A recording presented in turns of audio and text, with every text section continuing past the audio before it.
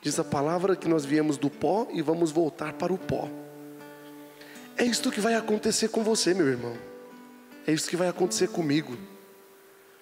É preciso nós nos conscientizarmos que as nossas ignorâncias, que nossas vaidades, que nossa petulância, que nossa arrogância, que nossa briga pelo poder, pelo dinheiro, pelo sucesso, pela fama, tudo isso ó, em questão de segundos acaba.